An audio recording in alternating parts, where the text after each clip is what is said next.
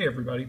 Today I'm going to be walking you through how do you control what notifications you get on your Garmin Instinct watch from your Apple iPhone. Uh, so this video is only for the iPhone. If you've got an Android phone, this video is not going to help you out at all.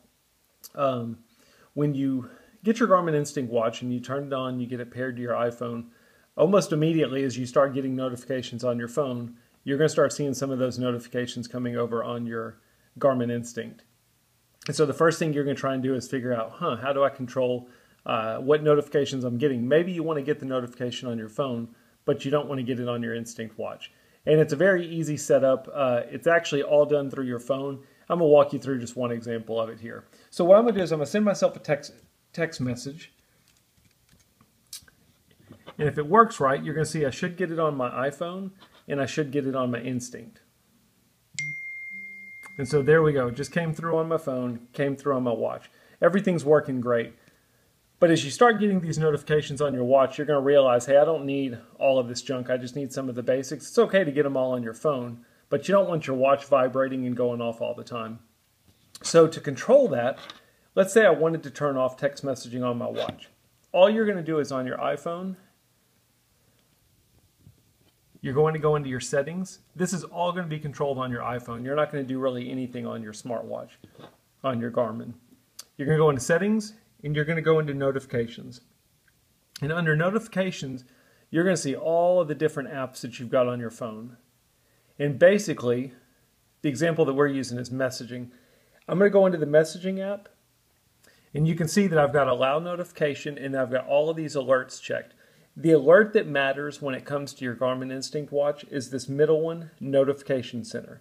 If that is on, you're going to get that notification on your Instinct.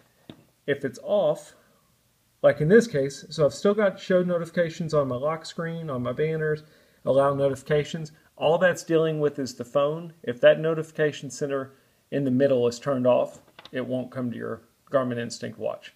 And that's it. So I'm going to back out of, no, out of the uh, notification section. I'm going to send myself a second text message. And we're going to see this time I should get it on my phone, which I did, but I didn't get anything on my watch, and that's because I've got that notification turned off on my watch.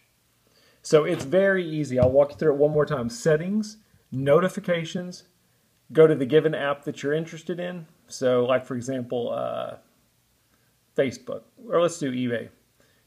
I have notification center in the middle turned off. That means any eBay alerts I won't be getting on my Garmin Instinct watch.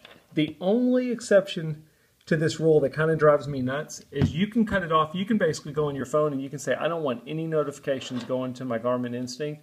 The one thing that you can't control is phone calls. Uh, you're going to get, uh, if somebody calls you, it's going to notify you on your Garmin Instinct. And when you answer the call, it's going to tell you that you're on a call on your Garmin Instinct watch. There's really no way to cut that off other than putting your watch in airplane mode. But when you do that, you're not going to get any notifications at all.